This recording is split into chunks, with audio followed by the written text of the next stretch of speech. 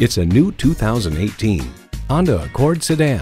Honda made no compromises with this luxurious and practical Accord. And it comes with all the amenities you need.